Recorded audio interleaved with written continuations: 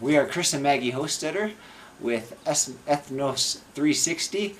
Uh, also here in Papua New Guinea, we're still known as New Tribes Mission. And we have four kids, though you don't see them here this morning. Uh, we'll throw a picture up there for you. Our four kids are in school right now while we're videotaping this. Uh, but they're doing really well. Yeah, up until this year, the kids have all been homeschooled by me while we've been living out in the tribe. Um, and so this is their first opportunity to go to a real school in a classroom with their peers uh, full time. And they've been really, really enjoying it, um, especially Micah and Cole, our oldest boys, um, getting into the social scene, making friends. Um, yeah, just having different teachers for the subjects, uh, teachers who assign fun projects and are energetic. Um, they're really enjoying that. And they're all doing very well, so thank you for praying for them. Yeah, so we were going to go on furlough last summer and take a six month furlough to the States, and then COVID happened, and so we changed our minds and stayed here in Papua New Guinea, and there was a lot of factors involved with that. Uh, while we miss our family and friends and churches, churches and everybody in the States, we're not regretting that decision because life here in Papua New Guinea has been pretty good. There's been very little uh, disruption to our lives because of COVID here. Uh, there's been very little impact of COVID in Papua New Guinea. Uh, there's a few little things. We need to wear masks now as a mission when we're getting together for church or functions um, on our centers. We're wearing masks and those things. Uh, but overall, yeah, very little disruption to our lives here. Still able to go and come from the tribe and continue that work and continue all that, that God has for us here. And so we're praising the Lord for that, what, what we've been able to do here and the work we've seen progress over the last yeah eight eight months where we you know made that change of decision and decided to stay here in Papua New Guinea instead of heading home last summer. We know you guys have been dealing with it a lot more, a lot more implications in your lives and what's been locked down and a lot of people getting sick and people dying. Uh, yeah, we've been praying for you guys. I've been praying for you guys. I've been praying for you know God to be glorified through this and that we would as, as children of God, cling to Him in the tough times and, and continue to grow in Him and be used by Him. All right, so this past week, I came out of the tribe on Thursday. Maggie and the kids stayed out of the tribe as kids are in school and yeah, have that going. Um, so I took a trip with my two co-workers, Nate and Axel, and we had a consultant, a church planting consultant, and then we had an elder from another tribe, a Papua New Guinea citizen, uh, the five of us went into the tribe a week and a half ago, and I just got out this, yeah, this week, Thursday.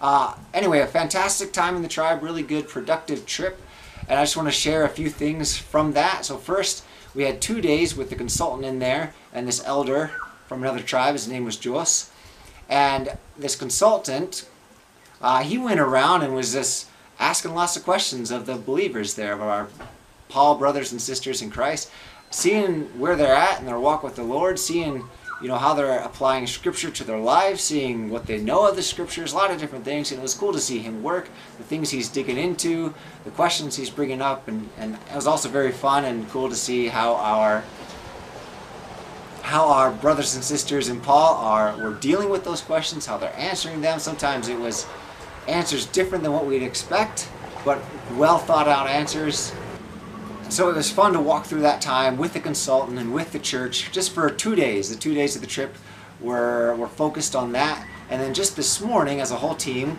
since coming back out of the tribe, we got together with that consultant and, and walked through what he saw in there and advice and tips and strategies that he has for us. And so then as a team, we're going to talk through those things and see what things we can change or implement to help continue our church move forward, to help the believers grow in their walk with the Lord, help them grow as as leaders, you know, as uh, building up the body of Christ, you know, as a body of Christ, uh, building each other up, and the leaders in there growing as as shepherds of the flock. And so, yeah, excited about what's happening there.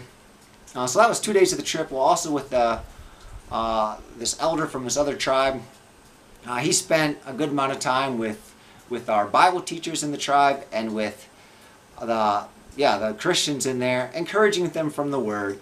Uh, some things that have come up. There's been some op opposition to baptism in the tribe, and he is able to address some of those things and help encourage the teachers.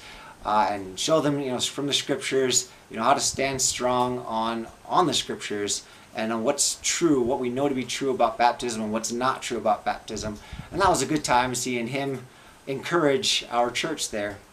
And then after, so it was a couple of days focused on those things, and then Joss, this elder, and the consultant, he left. They both left the tribe, and then my coworker Axel and I, we had another about a week in there, and that time was spent on translation, uh, cruising ahead with, yeah, with the translation work, working together with uh, members from the church to just make sure the translation is communicating clearly, com- communicating naturally in their language, and not confusing to them and has good grammar and those type of things. So working through the book of Matthew and also worked through the book of First and Second Peter in the past week, and that time with them, it's, it's a great time of of not just you know doing this translation work, but we're diving into the scriptures and able to talk about what we're hearing and and strengthening things as we go through. And it's a great time of yeah of learning from God's word and, and having that word you know, grow us and change us and work within us. So really enjoyed this trip and uh, glad to be back with my family. Uh, but it was a very good, productive trip and enjoyed the time with the church and my brothers and sisters in Christ there. Yeah, we've really been able to move ahead uh, much more quickly now with translation. Being able to put the kids in school has freed up a lot of my time uh, to focus on translation. And with the two of us working together, um, it just goes so much faster. And we're so grateful for the opportunity to um, have the time to work on that while we're not living in the tribe anymore. One thing you guys can be praying for as we move forward is um, the Paul Bible Teacher Group. Um, please pray for wisdom for them and for discernment, for mutual love and encouragement, and also for courage. Um, the church in Paul has come to a point where they're starting to see the difference between a true believer, a true follower of Jesus, and someone who says they are a follower of Jesus but really doesn't live like it. Um, before, up until this point, everyone in the village has been included in church. Everyone has claimed to be a believer. We have been carrying on as though people who say and confess they are believers as if they are truly believers um, and kind of going forward as one group. Um, but since we've stepped out of the tribe and out of being there day to day full time, um, we've really seen some division um, and not so much conflict in the church, but this group has an idea that's not biblical and they're they're kind of tied to that idea instead of following what the scripture says and this other group might have another idea of something that's not biblical. And instead of uh, studying the scripture, being under the teachers, following that uh, teaching, what they're doing is kind of going off in their own direction. While at the same time, still coming to church on Sundays, still saying, Yeah, yeah, I believe Jesus is true, we're all believers together. Um, but they're seeing those divisions. And we don't think that's necessarily a bad thing. We think that at some point, um, it's going to have to come to light that not everyone who says they're a believer is actually following Jesus with their life. Um, and so pray for the teachers as they navigate through that because it's it's not cultural in Paul to oppose someone strongly, especially if that person has a higher status in the community than you. And we do have several teachers who are uh, strong believers and who are doing what Jesus says to do and wanting to be leaders in their church but they are young and they have no status and traditionally no say in the community. So especially be praying for those guys, and be praying for us too, just to know how to help them. We uh, are in communication with them. We can call them on the phone, and once in a while, we're even able to video chat with them through Microsoft Teams. Um, but the cell phone tower is not always working, and even when it is, it's different trying to hear things over the phone and then give feedback and encouragement over the phone um, as opposed to being on the ground, being with them and, and walking through it together. Um, so if you could just pray for our Bible teachers, pray for the church as a whole too, uh, because as they go forward and maybe uh, people start to drop away from from the believing body, um, pray for the believers to still show love to them, um, because that is one of the biggest ways to witness for Christ in this country is just the love that people that believers should have for each other um, and for those outside of the church as well. So please be praying for those things. Yeah, we've known since day one. I mean, we we taught We shared the gospel with the Paul people, and from day one, is like the whole community. Oh yes, we're all in this together. But we knew that among that group, that there was some that you know, with their mouth professing faith, but their hearts are far from the Lord. And now, as you know, since we moved out of the tribe uh, seven, eight months ago, and our and our coworkers have moved out of the tribe too, so there's no missionary presence anymore. It's starting to come out now. Those who are walking with the Lord, their hearts are desiring to know God and to make Him known, uh, and to follow the things of God. And those who their hearts never were there, and so that's coming out as Maggie just talked about. And so, yeah, it's it's not necessarily a bad thing, and but it's a, can be a tough thing for our our Bible teachers in there, those guys that are you know, really, there's there's among that group, there's guys that are functioning as elders already. They're stepping into those roles, functioning as elders, and so it's a tough situation for them to walk through and walk through that carefully. And it's a new situation for them. So yeah, I would really appreciate your prayers um, for the church there, and that it would continue to be strengthened and grow. Uh, yeah, so our next trip is spring break in March. We'll all we will all go as a family for just over a week. And two things on that trip that we'll be focusing on is one, working again with our Bible teachers there to continue to encourage them and equip them and talk through issues with them. And we're actually going to be talking about as a team these next couple weeks. Are we ready to like uh, formally acknowledge, formally recognize some of these guys to say, these guys are now elders with us we the church still sees us missionaries. We are the elders of this church and rightfully so. They're not there yet to be you know completely on their own but i think we're close to be able to say hey there's a few guys that we're going to give them that position too along with us to work together going forward. And so that could be a whole new step you know. We got to talk about that as a team what we're going to do there. Um, but we're getting close to that point. So we'll be equipping and, and encouraging our, our teachers while we're there and continue the work on translation. We have one more comprehension check on the whole book of Matthew to do, and Matthew is a big long book. Uh, we're hoping between Maggie and I and our co-workers to kind of split that up and actually get through the whole third comprehension check during our time there in March. One cool way recently we've seen God at work uh, among our Bible teachers are among guys that, yeah, we're seeing taking on the role of elders, even though they're not formally recognized yet as elders. Uh, this last week, I had a couple conversations with guys who are sharing their struggle of, of they want to get down to the coast, the coast where there's town and stores, ways to earn a little money, and then buy a few things they need and come back to the bush, back to the jungle where they live. Uh, they live a couple days hike away from the coast and civilization. So a couple of teachers expressing you know, this desire to get down there because there's things they want to do and things they need to get, you know, for caring for their families, which is a very important thing, while at the same time recognizing now's not a good time to go because they're, you know, concerned about the work, the work that's happening there. They're, our group of teachers is overseeing two churches. We have the church that was established, you know, where we live in the tribe uh, six years ago, and then another church was established about a three-hour hike away uh, two years ago or a year and a half ago. And so they're overseeing these two churches and carrying on the Bible teaching in these places.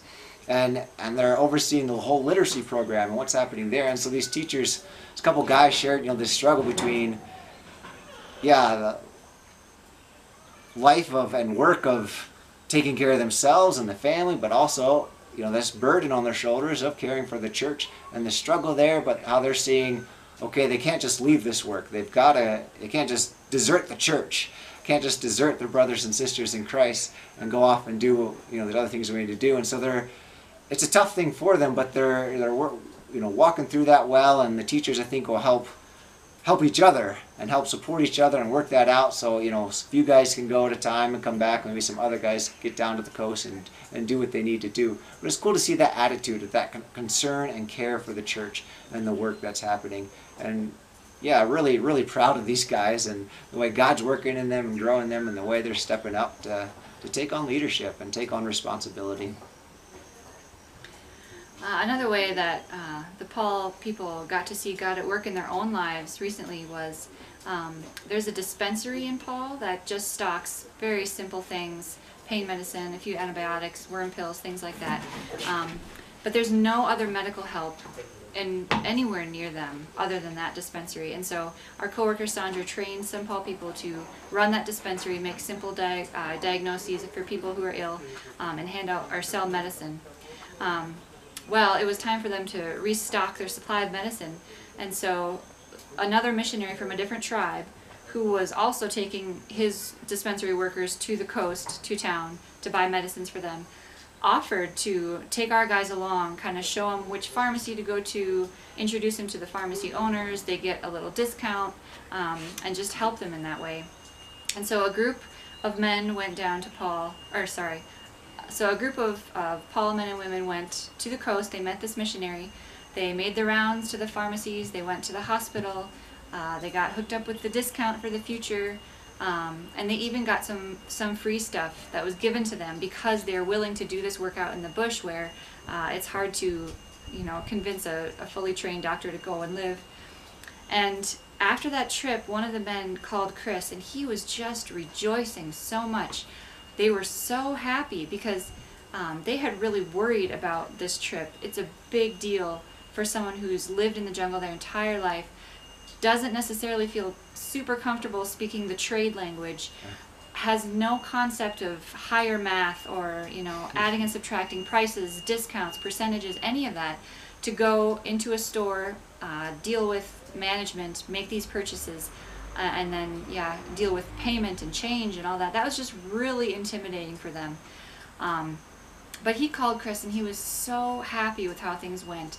Um, getting to go alongside with this other group from another tribe, having the missionary there to help them, and just the ease of everything. It went well. There was no problem. You know, no one got mad at them in the store. Everyone was people were giving them free medicine, you know, to take back for nothing, and um, and they were just so happy for the way God answered their prayers, for all of that to go well, and for them to be able to bring all that back into the bush um, and then have it there to care for the community and the communities that surround us. So that was pretty cool. You guys can praise God for that. Um, last time we were in the States, it was because of my health. Um, I was having a lot of what seemed like neurological issues, a lot of inflammatory issues, and we just couldn't figure out why. Um, and even after being in the in the states, we couldn't figure out why. So we came back here just trusting that God would give us the grace and the strength to do what He wanted us to do. Um, and he did. It wasn't long after we got back that I started um, changing my diet a bit just to try to control some of the inflammation. And it made a huge difference, um, especially in my muscle weakness issues. And so we moved back into the bush. We were able to stay there. We did end up having to come out more often than we had before, um, just to give me a little break to rest up and you know go back in there and keep working. Um, stress really seemed to be an issue, um, causing a lot of inflammation and, and just really um, making me wear down a lot and be really tired all the time. And so um, when we moved out of the bush six weeks ago, or six months ago, uh, to come and live here on our mission center, that really helped too. Just not having that daily stress of living in the tribe, um, being out here, it's just a little more relaxed, it's just a different feel. But it really took of that burden of stress off my shoulders quite a bit. And so my health has been good. I've been feeling good. I've been able to play volleyball. Um, having good energy, and I've been really thankful for that. So thank you for praying for my health. Um, one thing that you guys can be praying for that's coming up next week is uh, I've been having lots of jaw pain lately, just on one side. And while everything else has been getting better with my health, this has been continuing to get worse. And so um, we're thinking it may not be just a case of simple inflammation, we're not sure. But next week, Chris and I will go down to our capital city where there's an international hospital and um, we'll see a doctor down there and just see if he can give us any answers as to why this is happening. Um, yeah, so you guys can pray for that. It's, it'll be Tuesday, our time, so Yeah. Monday sometime for you. Just a two day quick trip, get down there, get back. Our kids be staying here, others will be watching over them. And, and yeah, pray for answers and, and healing for Maggie and her jaw. Uh, just a couple other real quick prayer points here. Uh, literacy program in Paul. We have a good literacy program, and it's now in three different places in Paul where people are learning to read and write their own language. There's no other schools in Paul. Yeah, people are not educated there, but they're learning to read and write their own language, and that's very cool. One thing we're seeing though is they come out of this school and they're they've learned to read, but they're beginner readers. And so we really would like to develop this program or take it further so they can go from beginner readers to being fluent readers. And it will really help them, you know, in their walk with the Lord of getting into scriptures if it's easy to read compared to such a chore to read. And so really want to yeah, grow this program and see what we can do to help help get guys from beginning being beginner readers to being fluent readers. So pray for wisdom there and how to implement that and yeah, what to do with that. I uh, just would love to see literacy, yeah, just continue to grow. Uh, we have a really busy spring these next three months March, April, May. A lot of things happening. We have different trips. Maggie talked about going to Moresby next week. We have during spring break and later March. Uh, head back to the tribe for a week. In April, Maggie and I, there's all the consultants in Papua New Guinea, all the new tribe mission consultants here. We're all getting together for a big powwow meetings together. Maggie is a translation consultant in training, and I am a culture and language acquisition consultant. And so we'll be going to these meetings, and that'll be a trip in April. Uh, what else do we have happening? I've got a couple trips in May, uh, going to a tribe to do a culture and language evaluation with a couple missionaries there. Uh, also, all the new missionaries to the field doing pidgin, uh, trade language, doing evaluations for them as they're learning pidgin and going back to the tribe again in May. Yeah, a lot of things happening this spring, and then school gets out beginning of June, and we want to head to the States, uh, take our furlough this year. Uh, because of COVID, international travel is quite the mess right now, also very expensive right now. And so last year at this time we already had our tickets bought, but then we didn't go in furlough. Anyway, this year it's like we're not even really thinking about tickets yet for the next couple of months because things are just changing all the time. And yeah, anyway, just pray for pray for that. Pray that plans would come together. Pray that we'd be able to find plane tickets that don't get canceled, you know, a week before the flight that aren't super expensive, and we'd be able to come home this summer and yeah, have our furlough. Uh, spend a year in the states is the plan visiting our families, friends, churches, supporters, everybody. And we yeah, we'd like to be able to come home and just pray for those plans that that would come together.